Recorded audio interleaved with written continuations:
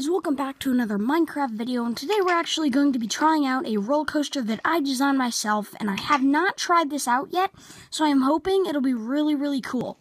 So, it's, the name of it is just Minecraft PE, because it tells you, like, what to do and all the days, so, um, let's get into it.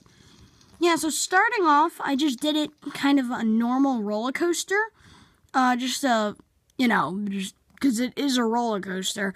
And then it gets into this, like what to do in Minecraft. So, oh no, no, eh, no, no, no, no, no, no, no. Okay, that kind of messed me up, guys. I'm sorry about that. But um, basically, here we go. So, first days, you need to get your spawn point, and you have to make like a chest and all that stuff. So then you gotta make a crafting table and chest. Here's your second day. You got to crafting and you got to build kind of like a small little shack.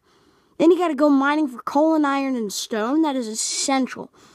The fourth day, you kind of got to build a more formidable home, formidable home and craft. Fifth day, you got to mining mine for rare ore like diamonds, emeralds, redstone. The sixth day, you got to craft with that rare ore, like make blocks and armor and stuff. Oops. And then the seventh day, you should be rich. Um, and then hope you enjoyed. More coasters coming soon, made by you. My name in Minecraft. So um, yeah. And I just want to say thank you for all the support on the videos. I mean, seriously. But um, can we hit a like goal for 25 likes?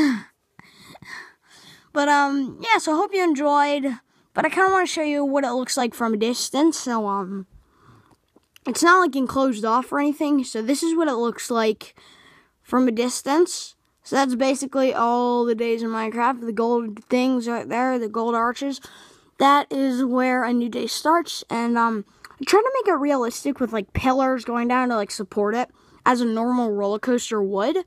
So here's just the roller coaster part. And I really, really liked how the dropping system where you drop into here and then you just be like, what the heck? And then you would just immediately go into the Minecraft like you were like teleported somewhere or something. But um yeah, see you next time. Bye-bye.